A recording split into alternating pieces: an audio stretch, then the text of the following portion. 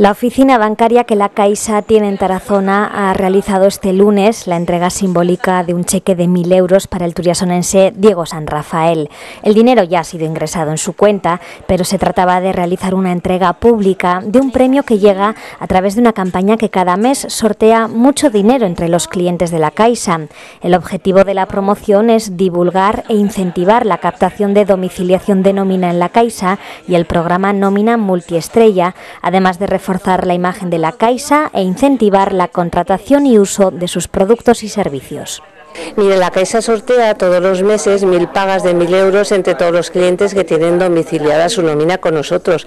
Y en el mes de enero, pues uno de los afortunados fue Diego, que es cliente de la oficina de Tarazona.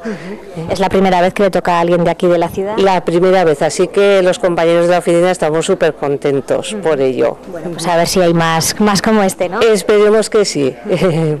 Para el ganador, el premio fue una auténtica sorpresa porque no conocía la existencia de esta promoción. Además, dentro de un mes nacerá su primera hija, así que el dinero ha llegado en el mejor momento posible.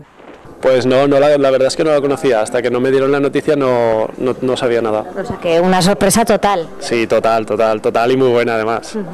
Mil euros eh, siempre es de, de, agradecer, ¿no? Y más en estas circunstancias, ¿no? Cuéntanos un poco. Pues bueno, sí, estamos embarazados y, y la verdad es que mi pequeña va a venir con un cheque debajo del brazo.